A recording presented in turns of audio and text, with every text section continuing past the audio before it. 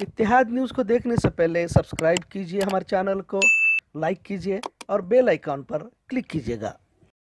अस्सलाम वालेकुम रहमतुल्लाहि वरकातु इतिहाद न्यूज़ और आई एन सेवन में आप सभी का खैर मकदम भारत की अगर सियासत किसी मरकजी नुक्ते के इर्द गिर्द घूमती रहती है तो वह है राम मंदिर।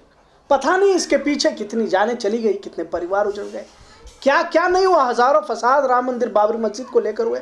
आखिर सुप्रीम कोर्ट ने फैसला राम मंदिर के हक में दे दिया। कई सबक जस्टिस जिस जिन्होंने इस फैसले पर ऐतराज जता वही जस्टिस होंगे जिन्होंने इसका फैसला सुनाया था।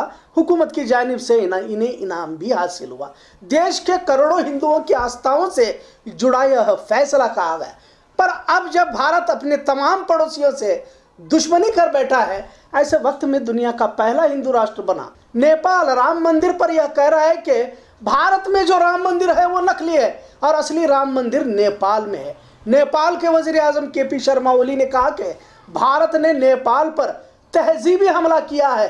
असल भगवान राम नेपाली है और भारत ने अपने ही देश की आवाम को झूठ परोसा है। भारत में जो राम मंदिर है, वो चराचर झूठा है। उन्होंने यह भी कहा कि सीता की शादी जिस राम से हुई, वो नेपाली थे। और इनका भारत के अयोध्या से कुछ भी लेना देना नहीं है। असली अयोध्या जनकपुर के शुमाल में वाक़ है, नेपाल के बीरगंज ठोरी में अयोध्या है। और पूरी तरह असली है, ऐसा भी इनका दावा। नेपाल के वज़ीर आज़म के पी शर्मा ओली ने खास इजलास में इस बयान के बाद दुनिया भर में काफ़ी हंगामा बरपा हुआ है। अब जब भारत में प्रधानमंत्री मोदी राम मंदिर की तामीर करने के लिए पाँच तारीख अयोध्या पहुँचने की बात कही जा रही है, यानी कि शिलान्यास की। वही नेपाल ने भारत को लेकर इस तरह का विवादित बयान क्यों दिया ऐसा सवाल भी किया जा रहा है। आसाम, बिहार की बाढ़ भी चीन नेपाल की ही देन कही जा रही है। अब तक तीस लाख लोग इस बाढ़ से मुतासर हुए। सवाल यह खड़ा होता है कि आखिर भारत की विदेश नीति किस हद तक नाकाम हो चुकी है?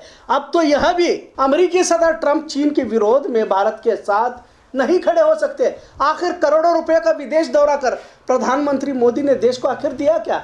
और जब भी बोलेंगे, कुछ नया रहेगा। जैसा मन की बात में पिछले हफ़्ते उन्होंने कहा कि लॉकडाउन में भी भारत ने डेढ़ सौ देशों की मदद की। अब इसे क्या कहा जाए कि पूरी दुनिया देख चुकी है कि भारत का मजदूर लॉकडाउन में भूखा भूखा प्यासा चल रहा था। पता नहीं अब इस मोदी दौर में क्या क्या देखना है। अब जनता ही तय करेगी कि दुनिया का सबसे बड़ा लोकतंत्र फिर से कैसे सुजलाम सुफलाम होगा।